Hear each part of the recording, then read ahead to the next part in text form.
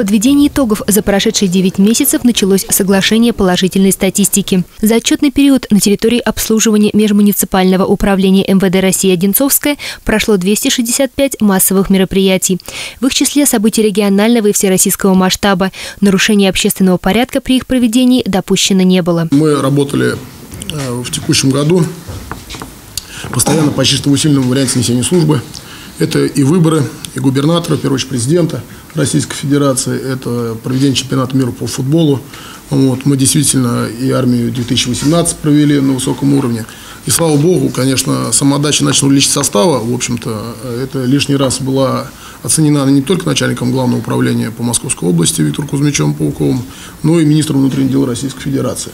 Ну, вот. Соответственно, мы действительно работали в сложный период, мы выстояли, мы продержались, мы не подвели государство вот, и не ударили в грязь лицом. За 9 месяцев текущего года в дежурные части Одинцовского района поступило 62 963 сообщения о преступлениях и административных правонарушениях. На совещании отметили тенденцию к снижению числа нарушений закона и улучшению показателей раскрываемости с 60% до 63%. Это выше среднего показателя по Московской области, который составляет 58%. Достойные результаты стали возможными благодаря высокому профессионализму участковых уполномоченных, сотрудников уголовного розыска, ГИБДД и других подразделений, обширной профилактической работе, а также эффективной координации действий руководителей управления с другими правоохранительными структурами, ведомствами и органами власти. Принимаемыми меры профилактического характера мы добились снижения общего количества зарегистрированных тяжких и особо тяжких преступлений на 10,7, область на 10%,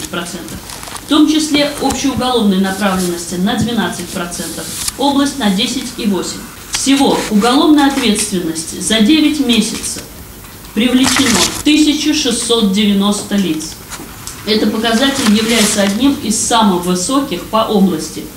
Нагрузка на одного сотрудника по привлечению лиц к уголовной ответственности составила 1,61 при среднеобластном показателе 1,2.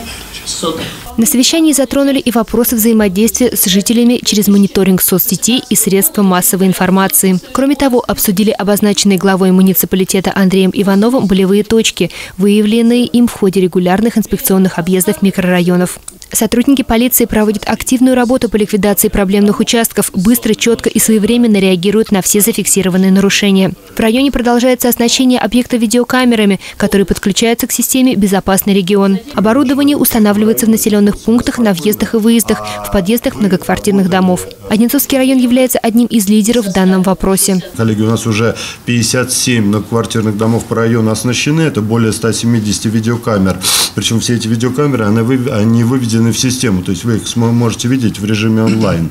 А, мы еще получаем новое, а, это интеграцию а, видеоизображения видеокамер в домофонную, именно в домофоны. Это 49 нам пилот даст жаворонки. Ну и в следующем году мы также не будем стоять на месте, а будем четко реагировать и на ваши посылы, и э, на те места, где вам необходимо э, усилить контроль с помощью видеонаблюдения.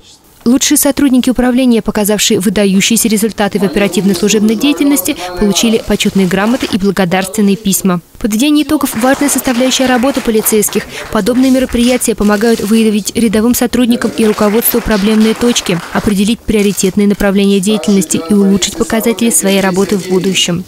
Екатерина Яровая, Станислав Трифонов, телекомпания «Одинцова».